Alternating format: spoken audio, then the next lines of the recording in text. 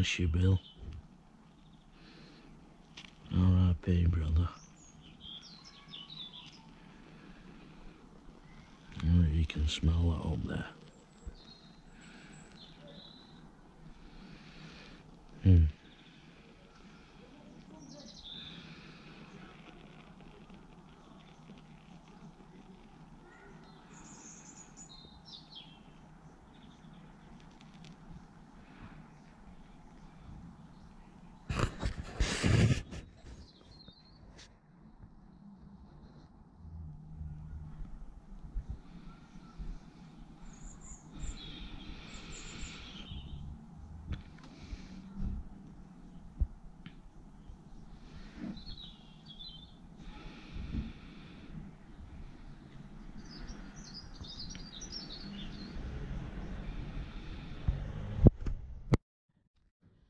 So that's me paying my respects to Bill.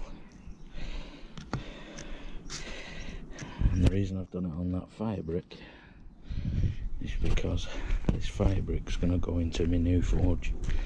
I need a new forge because my old one doesn't get hot enough. So I've uh, I have this one lying around this old one. They're going to be the base of me Bill's gonna be in part of the base of me forge.